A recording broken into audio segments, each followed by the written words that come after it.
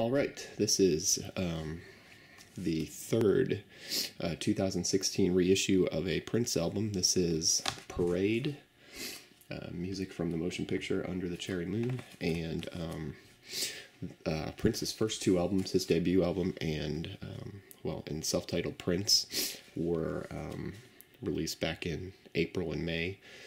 Um, everything was announced uh, in the winter, and then uh, Prince died, and things kept kind of getting pushed back after those first two releases. Um, I was under the impression that they were going to do them in order, um, aside from the four that were released uh, a few years ago, uh, reissued on vinyl um, Dirty Mind, Controversy 1999, and Purple Rain. Um, those weren't a part of this new reissue series, but um, for some reason, after uh, the first two, um, around the world in the day was was the one that was scheduled to be uh, released next, and it keeps getting pushed back on um, all of the different uh, music release calendars that I see. But um, Parade showed up a couple days ago, and there's the sticker from the front.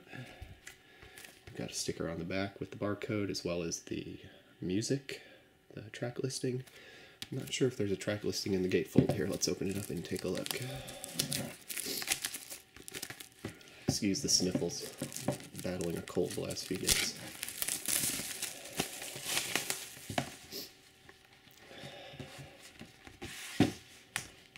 Okay, so no no track listing on the inside. Just the gatefold cover, the Revolution. Um, this is the last album to uh, be credited Prince and the Revolution. Um, after this, it went back to just being uh, albums being labeled as uh, Prince releases. And um, a couple other interesting facts about this album. Um, I think it's the first album to feature an instrumental track by Prince, and uh, he sings in French on it. So um, let's take a look at the inside here.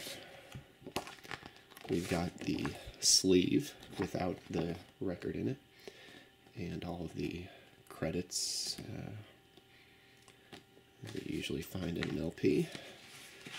And then here is the vinyl itself, which is not 180 gram vinyl.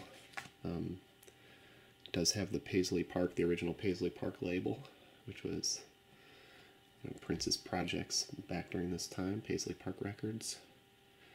Their side B, or actually they call it end. And the side is called intro. Um, you can tell this is a reissue by the looking for the NPG logo on it. NPG Records. I don't see it. There it is. 1986. It says NPG Records under exclusive license from Warner Brothers. So instead of just being Warner Brothers, it's uh, got the NPG Records label. All right, so there's your look at Prince in the Revolution Parade. Uh, if you want to go ahead and leave your uh, favorite track from this album in the uh, comments, that would be cool. So uh, there you go. Thanks for watching.